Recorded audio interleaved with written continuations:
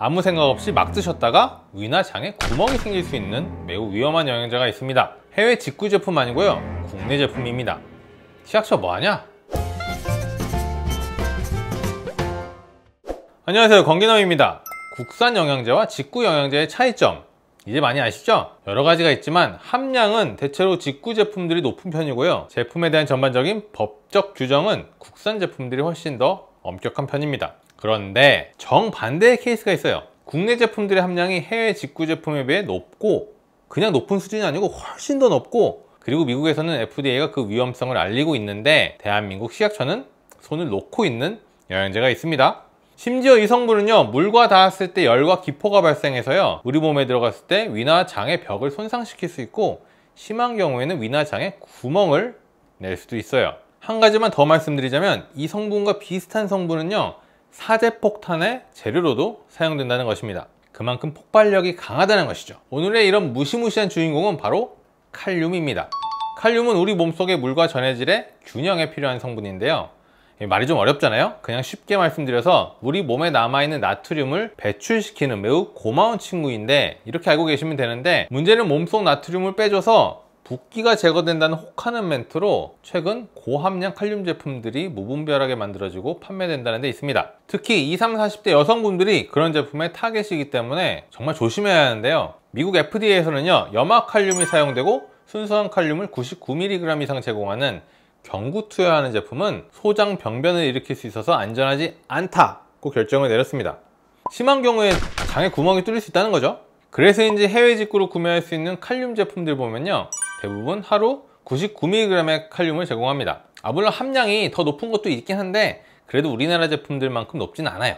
그런데 우리나라 볼게요. 빨리 시약처에서 조치를 취하지 않으면 안 될 정도로 함량이 너무 높습니다. 너무 위험해요. 네이버 쇼핑 검색에서 상위 판매되는 제품들 한번 볼게요. 먼저 이 제품. 염화칼륨수였죠? 하루 칼륨 제공량은 1750mg입니다. FDA에서 정한 99mg보다 무려 17.6배 높고요. 이 제품도 염화칼륨이 쓰였어요 하루 칼륨 제공량은 1500mg FDA에서 정한 안전치보다는 15배가 높습니다. 다음은 이 제품도 염화칼륨이죠.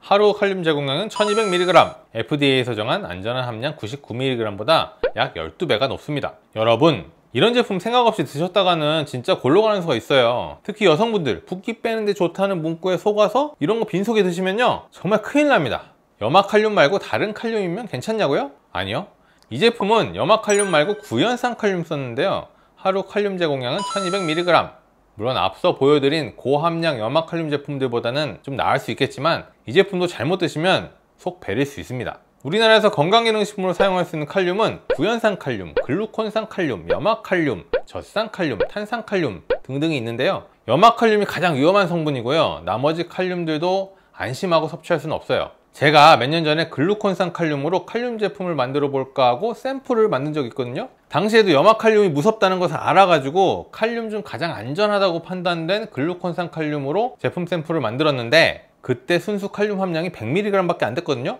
제가 그 샘플을 50명 정도한테 돌렸는데 그중 6명이 속이 쓰리다고 했고요. 제가 그래서 빈속에 먹지 말고 식사 후에 먹어봐 했는데도 그 6명 중 4명이 식사 후 섭취를 했음에도 속이 쓰리다고 했습니다 당연히 제품을 하지 않았죠. 아니 할 수가 없죠. 그런 제품 어떻게 팔아요? 그런데 최근 어떤 구독자분이 다른 영양제는 괜찮은데 이것만 먹으면 속이 쓰려요? 라고 저한테 메일을 주셨는데 찾아보니까 아 세상에. 어떤 정신 나간 업체에서 염화칼륨을 천 몇백 미리 넣은 제품을 팔고 있네?